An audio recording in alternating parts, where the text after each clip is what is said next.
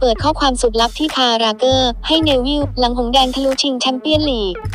เปิดข้อความสุดลับที่ทางเจมี่คาร์ราเกอร์ส่งให้แกรี่เนวิลล์เพื่อนรักหักเหลี่ยมโหด หลังจากที่ลิเวอร์พูลพลิกล็อกฝ่าด่านบาร์เซโลนาลิ่วชิง UCL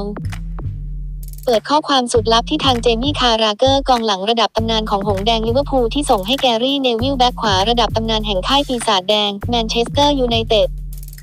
ภายหลังจากที่หงส์แดงลิเวอร์พูลพลิกล็อกฝ่าด่านเจ้าบุญทุ่งบาร์เซโลนาเข้าชิงชนะเลิศในศึกยูฟ่าแชมเปี้ยนลีกในฤดูกาลนี้ เป็นที่เข้าใจกันว่าเลกแรกลูกทีมของเจอร์เก้นคล็อปป์เป็นฝ่ายบุกไปพ่ายแพ้มาก่อน 0 ต่อ 3 แต่ทว่าเลกที่ 2 พวกเขาจัดการอัดทีมจากสเปนถึง 4 ต่อ 0 ด้วยผลงานดิว็อคโอริกี้นาทีที่ 7 และ 79 และจอร์จินิโอไวจ์นัลดุมนาทีที่ 54 และ 56 ล่าสุดมีการเปิดเผยข้อความที่ทางเจมี่ คาราเกอร์ได้ส่งไปให้เพื่อนรักหักเหลี่ยมโหดของเขา แกรี่เนวิลว่ารออยู่ตลอดทั้งคืนเพื่อให้แกรี่เนวิลตื่นขึ้นมาและรู้ว่ามันไม่ใช่ความฝัน